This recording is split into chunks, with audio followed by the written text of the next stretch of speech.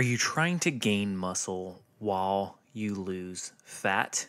Can they both be done at the same time, or do you have to lose all the fat and then build up the muscle? Like, what is the best way to do it, and how do you go about doing it? Well, that's what we're talking about in today's episode. So strap in and get ready for episode 092. Let's go. I've always been that skinny guy. Why can't I gain muscle mass? What do I do in the gym? They said I'd always be skinny. This is your complete source for how to gain lean muscle and break out of your skinny body. From nutrition to getting the most out of your workouts and everything in between. We know just how frustrating gaining muscle mass can be, but don't worry, we've got you covered. You're listening to the Bones to Bulk podcast. Hello, hello, welcome to today's episode. My name is Brian Parody, and I will be your host today. And before we dive into today's episode, if you have not been over to bonestobulk.com, we just launched a brand new product line. We have t shirts, tanks, hoodies, hats, all of your favorite workout gear available representing the Bones to Bulk brands. And I would greatly appreciate if you went over there and just checked it out. So head on over to bonestobulk.com, click the gear button. All right. So you want to lose fat and gain muscle. How do you do both? Well, for starters, let's kind of break down how you build muscle. Muscle is built by breaking down your muscle fibers through lifting weights or doing heavy exertion with your muscles. And basically, in the healing process, these tiny little tears that you create heal, scabs are formed over them, and then, well, it's new muscle fiber. It's not technically a scab, but it's like a scab. And then your muscle grows and becomes more dense, and that's literally how muscle grows. So, weightlifting, yes, you have to be doing either, and it doesn't have to be weights. I'm not saying if you're starting off, you can do a lot just with body weight, but the point is, like weightlifting is how you build muscle. Now, doing that regularly and trying to lose fat is definitely doable but it takes some tweaking and it takes doing the right kinds of workouts.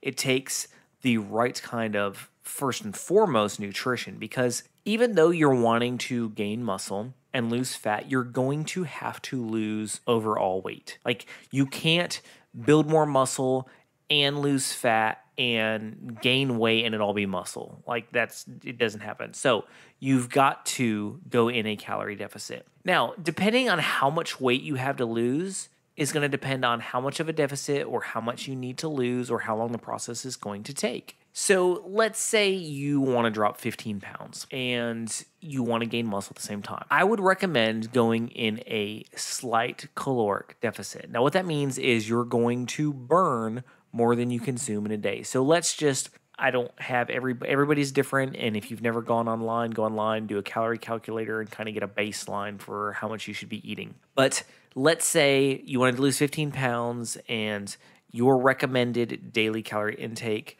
is 2500.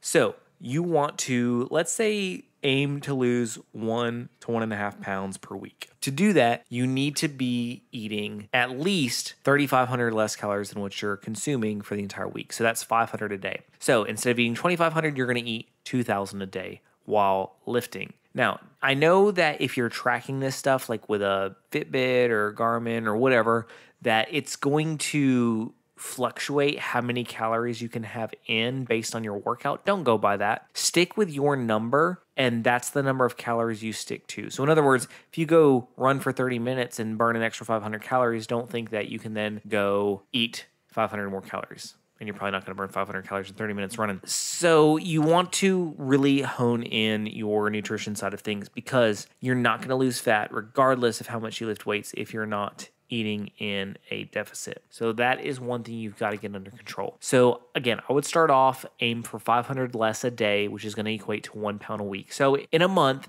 that's four pounds. So we're talking four months here to hit your goal. That's that's awesome if it's 15 pounds. Now, typically we think, well, you need to be doing cardio if you want to lose weight. Well, not necessarily. First off, weightlifting is way better at burning more calories and dropping off weight overall than cardio is. Just it, it is. You're obviously wanting to build muscle, so you better be lifting anyway. But do you do cardio? I would recommend doing some steady state cardio. Now, steady state cardio is kind of a slower paced cardio. So, in other words, rather than jumping on a treadmill and running for 20 minutes, I'm gonna maybe put the treadmill on a slight incline and just walk for 15 or 20 minutes. Or maybe I'm gonna get on the bike, keep it at a very low pace, and bike for 15 to 20 minutes.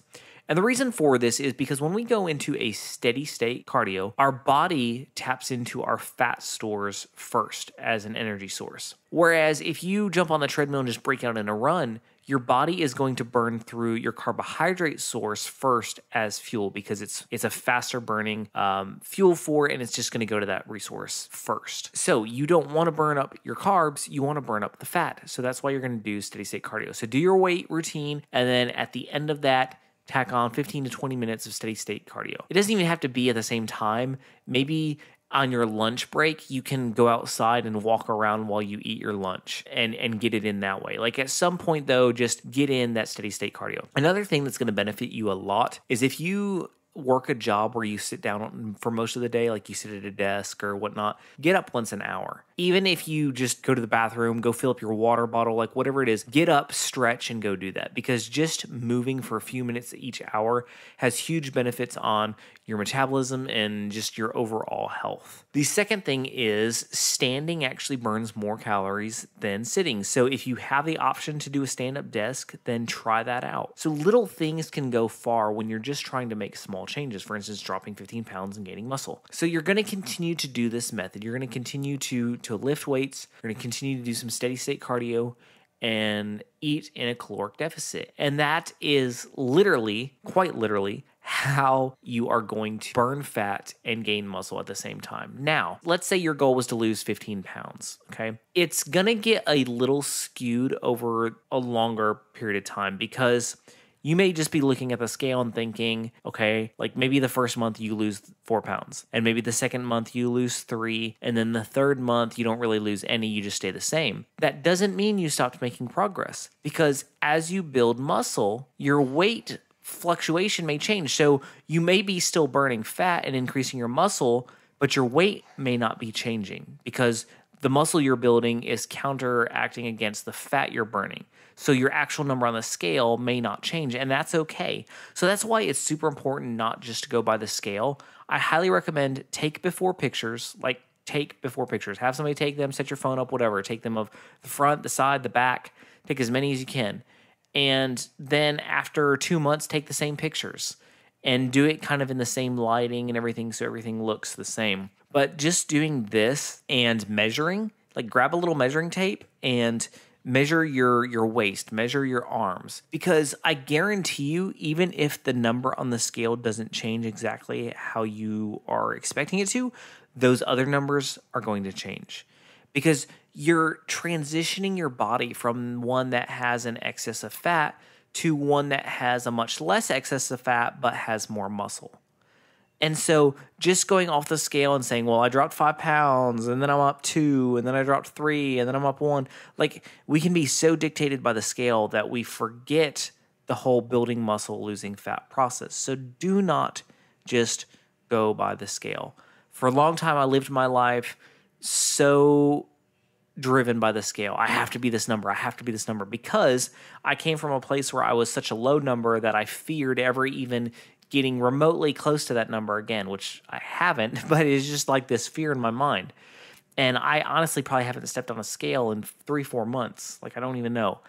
So you've got to get to that point where you're you're taking pictures, you're measuring yourself, and you're judging how your clothes fit, and all that is really gonna play more of a role in are you hitting your goals than the number on the scale when you're trying to lose a smaller amount of weight. And when I say smaller, like 15 to 25 pounds, when you're trying to lose that amount of weight um, and gain muscle at the same time. So you can't just go off that. But you definitely can do both. You should do both if that's your goal and it's possible. All right, thank you so much for listening. If you get anything out of this podcast, please, please take just a minute out of your day, go leave us a review on iTunes, leave us a rating. I would greatly appreciate it because it helps boost our reach on iTunes, basically. And I just would greatly appreciate that. With that being said, remember no matter what anybody's told you, what walls you've hit, you can accomplish any single fitness goal.